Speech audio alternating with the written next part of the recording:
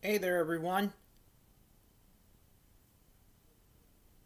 I get, we find we got some Indianapolis Colts news, but it's not, but it is not about this coming game. No, it's about Week 15's game.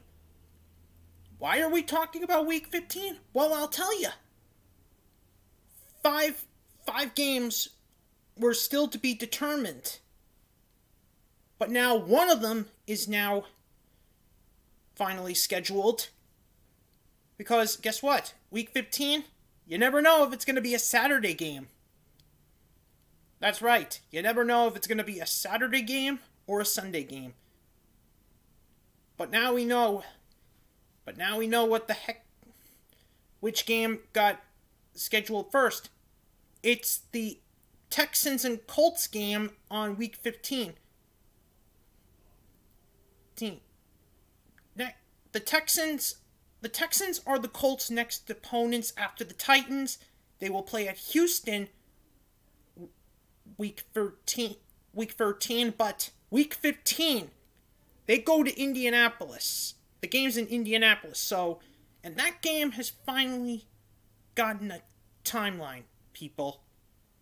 The game is scheduled on Sunday, December 20th at 1 p.m. So yeah, the Texan yeah, so yeah, game 2 of the Texans and Colts game has been eliminated from the Saturday night roster. The other games that are still to be determined are are the following four. The Detroit Lions versus the Tennessee Titans, the New York Jets versus the Los Angeles Rams, the Buffalo Bills versus the Denver Broncos, and the Carolina Panthers versus the Green Bay Packers.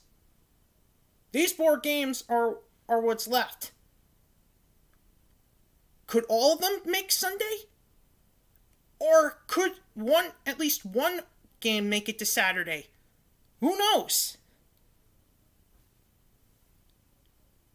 But anyway, we now at least we got one game out of the way. Way the sec the second game between the Texans and Colts. And anyway, see when I bring even more breaking news.